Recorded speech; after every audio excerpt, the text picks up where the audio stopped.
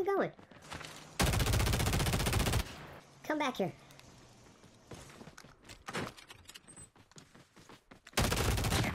Give me that shit. What are you doing, bro? What are you going for the airdrop for? Guacamole, por favor.